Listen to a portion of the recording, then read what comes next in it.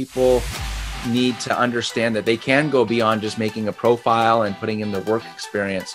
There is a lot of great tools that can assist you with your personal brand and assist your, your company brand also. Uh, LinkedIn is saying that when you do these live videos and you do them properly, that uh, you can expect 25, 24 times more comments. How can we connect our people? What are we going to use? It's like, that's amazing. What a perfect thing for heads of companies to utilize to just boost their people. So I've been a long, long time LinkedIn guy, and hopefully that doesn't give away my age too, too much. But anyway, just got to get in there, play with it, have fun. Don't try and sign up just for, you know, fun and jelly beans.